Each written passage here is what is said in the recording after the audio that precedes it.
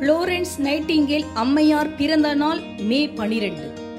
விளக்கை கையில் ஏந்தியபடி போர் வீரர்களுக்கு மருந்திட்ட அம்மையாரே செவிலியர் பணி சிறப்பானது என்பதை அனைவருக்கும் புரிய வைத்த காரிகையே விருப்பு வெறுப்பை தாண்டி சேவையாற்றும் தாதியே.